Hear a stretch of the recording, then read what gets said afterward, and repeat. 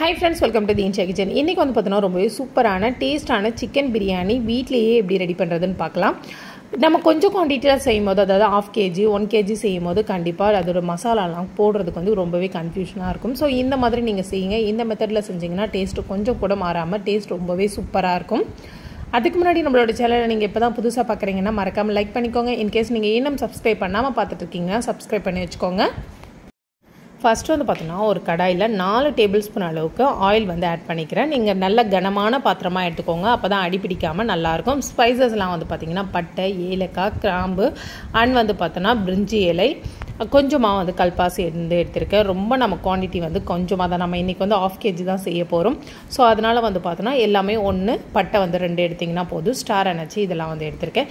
காரத்துக்கு ஏற்ற மாதிரி பச்சை மிளகாய் வந்து ஒன்றோ ரெண்டோ நீங்கள் வந்து ஆட் பண்ணிக்கோங்க. நெக்ஸ்ட் வந்து பார்த்தோன்னா ஆனியன் வந்து ரெண்டு ஆனியன் பெரிய வெங்காயம் வந்து பார்த்தோன்னா ரெண்டு வெங்காயம் கட் பண்ணி வச்சுருக்கேன். அதையும் இதோடு போட்டு ஆட் பண்ணி நல்லா வந்து லைட் ப்ரௌன் ஆகிற வரை நல்லா வந்து வதக்கிக்கோங்க. அதுலேயே வந்து இஞ்சி பூண்டு விழுது வந்து பார்த்திங்கன்னா ரெண்டு டேபிள் ஸ்பூன் அளவு போட்டிங்கன்னா ரொம்பவே போதுமானது.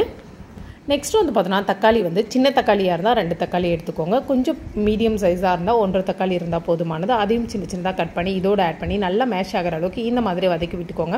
நெக்ஸ்ட் வந்து பார்த்தோன்னா ஒரு கைப்பிடி அளவுக்கு மல்லியும் புதினாவும் சேர்த்து ஒரு கைப்பிடி அளவுக்கு இதோடு போட்டு நல்லா வந்துட்டு வதக்கி விடுங்க.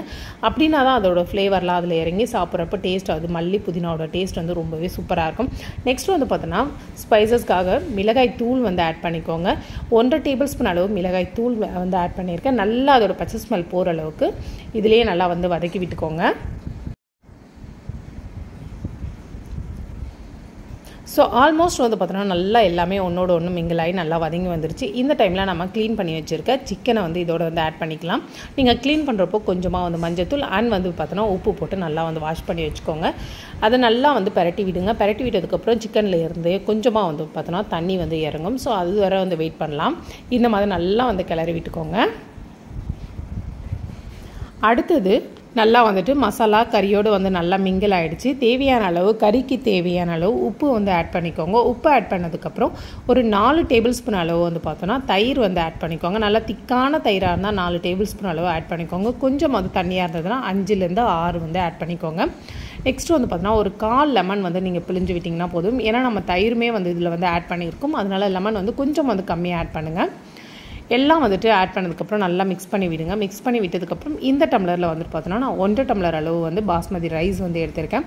ஸோ அதனால் வந்து ஒரு டம்ளர் அளவு நம்ம ஊற்றிட்டு ஃபஸ்ட்டே வந்து நல்லா வந்து ஒரு கொதி விட்டுக்கலாம். அதுக்கப்புறம் மீதி வந்து பார்த்தோன்னா ஒரு அரை டம்ளர் அளவு ஊற்றிக்கலாம் ஒன்றரை டம்ளருக்கு வந்துட்டு பார்த்தோன்னா நான் ஒன்றரை டம்ளர் அளவு வந்து தண்ணி ஆட் பண்ணியிருக்கேன்.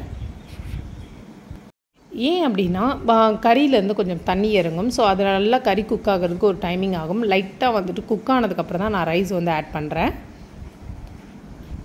இந்த டைமில் நம்ம ஊற வச்சுருந்த அரிசியை வந்துட்டு இதோடு வந்து ஆட் பண்ணி நல்லா வந்து அடியோடு வந்து கிளறி விட்டுக்கோங்க.